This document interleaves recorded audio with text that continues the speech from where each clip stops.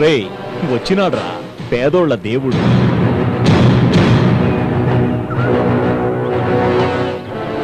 రావయ్య నరసింహారెడ్డి. పుట్టలోని పాముని బయటికి తీయాలంటే నాదస్వరమే ఓదక్కర్లేదు. దాని చుట్టూ మంట పెడితే చాలు. అదే బయటకొస్తుంది. నీకెన్నోసార్లు చెప్పాను.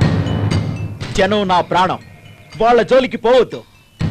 ఆడోళ్ళని చిన్నపిల్లల్ని చంపకూడదనే సీమ కట్టుబాటు మీరి పెద్ద తప్పు చేశావు నువ్వు రోజు నా చేతిలో చస్తూ ఎందుకు పుట్టానని ఏడవకపోతే సీమ మీదొట్టు శభాష్ నరసింహారెడ్డి నిజమైన మగాడివంటే నువ్వే. నిన్ను చంపినా నీ చేతిలో చచ్చినా నాకు గౌరవమే. ఈ సీమలో నువ్వైనా ఉండాలి లేదా నేనైనా ఉండాలి. రా చూసుకో ఏయ్! Cut cut cut cut cut cut సాయిబయ్య విజయభయ్య చించేశారు. మీ ఎమోషన్ చూస్తుంటే నాకే రోమాలు నిక్కబడుచుకుంటున్నాయి రేపు ఏపీలో చూస్తే థియేటర్లో అందరూ క్లాప్స్ కొడతారు భయ్యా. థ్యాంక్ యూ భయ్యా. ఓకే ఓకే లొకేషన్ షేప్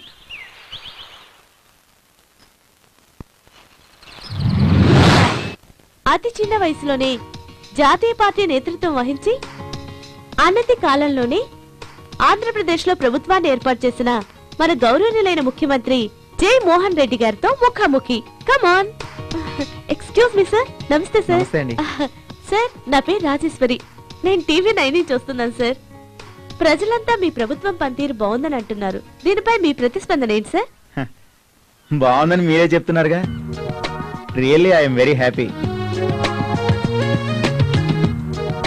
బాగుందని మీరే అన్నప్పుడు మాకు అంతకంటే కావాల్సిందే ఉంది.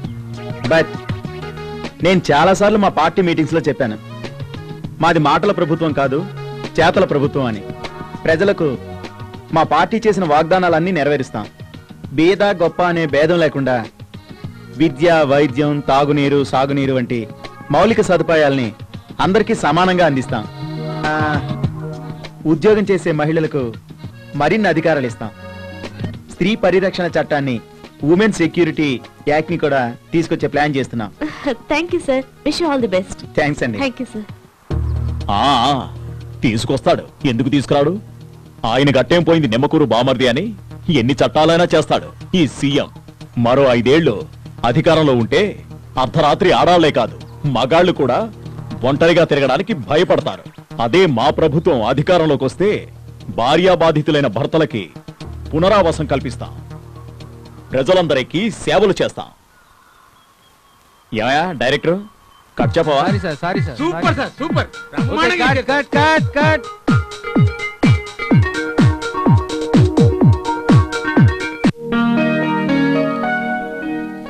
అమ్మా నేను వెళ్ళొస్తానే. ఆ వస్తున్నానుండ్రా ఒరే రొట్టెలు గుడ్డు కూర అన్ని కట్టాను. వేది వదలకుండా తిను.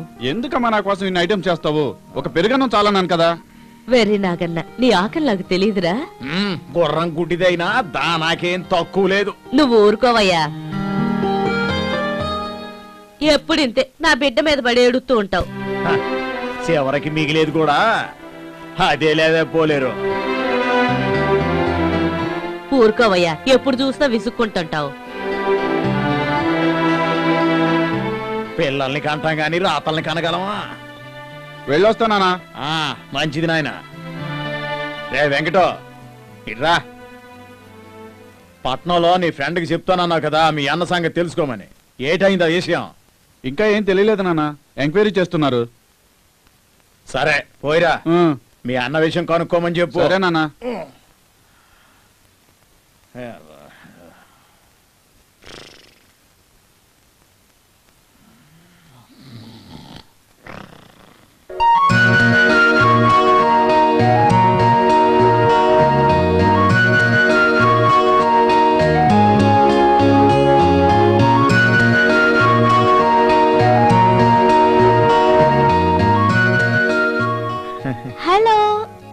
hi hey Raji Come on. Sir he's mister Amar my friend hello sir రండి సార్ ఏంటి ఈ మధ్య కనిపించట్లేదు? హాయ్ హాయ్ సార్ నేను చాలా బిజీగా ఉన్నాను సార్ అందుకే.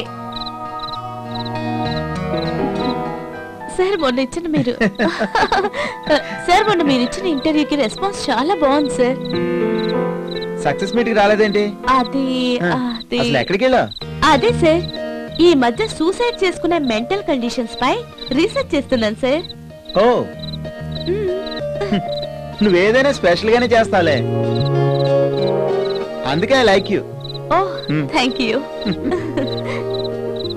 Sir నేను మీతో పనుండి వచ్చాను సార్. నా ఫ్రెండ్ అమర్ ఉన్నాడు కదా. ఇతను ఆర్టిస్ట్ కావాలని ఇండస్ట్రీకి వచ్చి మోసపోయాడు సార్. ఓ. చక్రపాణి అనే వ్యక్తి అమర్ని మోసం చేశాడు సార్. అవును సార్.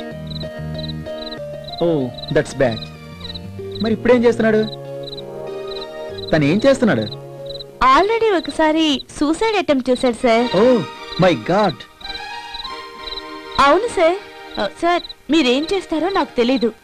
మీరేదైనా చేసి ఇతను ఆర్టిస్ట్ చేసే బాధ్యత మీదే. చూడండి బ్రదర్ టాలెంట్ ఉన్న వాళ్ళని ఎవరూ ఆపలేరు.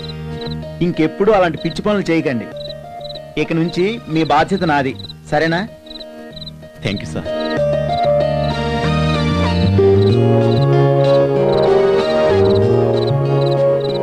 నన్ను ఆశీర్వదించండి. ఏ నాకు ఇలాంటి నచ్చవు నీకు అవకాశం మాత్రం ఇస్తున్నాను. ఆ, దాన్ని ప్రూవ్ చేసుకునే బాధ్యత మాత్రం నీదే. తప్పకుండా సార్ ఆ ఆ, వస్తున్నానే. ఆ, ఓకేరా.